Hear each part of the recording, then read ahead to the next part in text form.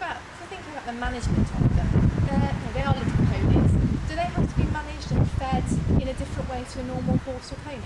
Yeah, you have to watch their weight, um, but a common misconception with Shetlands is that you can just fling them a handful of mouldy hay and, and that'll do. And they, Mm. they are very picky, they know what's good for them, so you do have to um, watch what you feed them. Okay. Um, on a sort of in the wild, the ponies will get through from year to year just just on what's available to them grass-wise and, and herbs and so on, um, with a little bit of supplemental hay in the winter.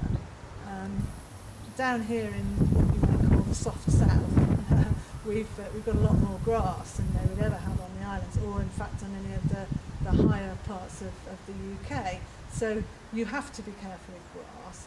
Um, we find that the that's a perfect grazing for Shetlands is a sort of slightly furry sort of billiard table effect. You know, just Okay. just sort of just a nice nibble for them, but Very not short. lush. They certainly don't want cow pasture. no. Um, we actually uh, run small groups in sort of biggish paddocks.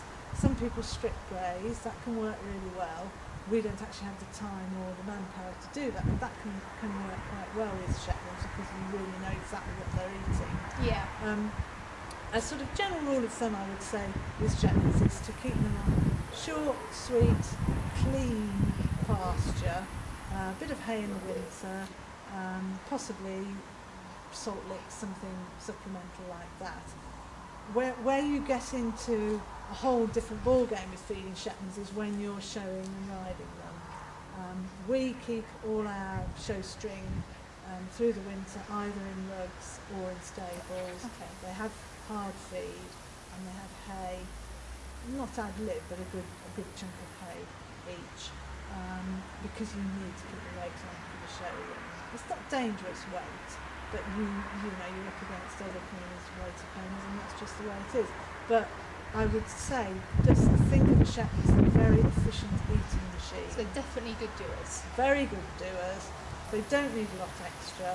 If you keep their teeth well maintained, keep them wormed, um, and the older ponies, just keep an eye on them in the winter because um, although they can stand behind hedges, they don't like standing in very cold rain.